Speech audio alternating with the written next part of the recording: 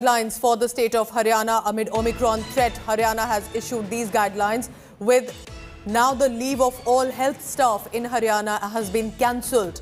Movement of public from 11 pm to 5 am strictly banned. Gathering of more than 200 people in public places will not be permitted for the next few days. So fresh guidelines, health leave cancelled and also only small gatherings to be permitted.